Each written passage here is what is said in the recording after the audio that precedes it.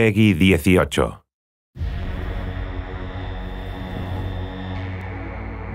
We need to remember why we do what we do.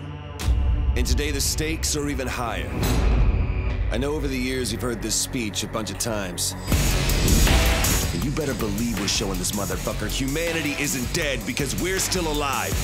It's our time now. Let's get this shit started.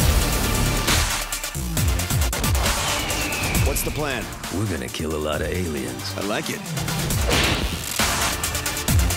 Why do I have a feeling that's a big understatement? You think someone could at least give me a high five?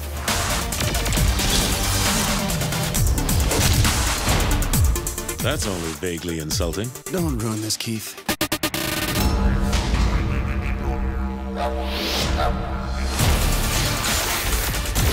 What the fuck? We don't use that kind of language here in Steelport. Are you fucking kidding me?